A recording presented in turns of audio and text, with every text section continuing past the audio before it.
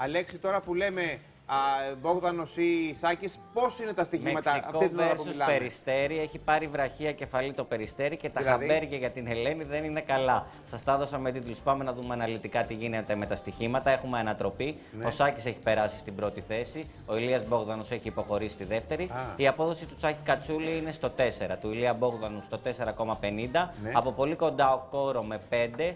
Ο Ασημακόπουλος με 7 έχει ανέβει και η Μαριαλένα Ρουμελιώτη με Εφτά, ε. 7.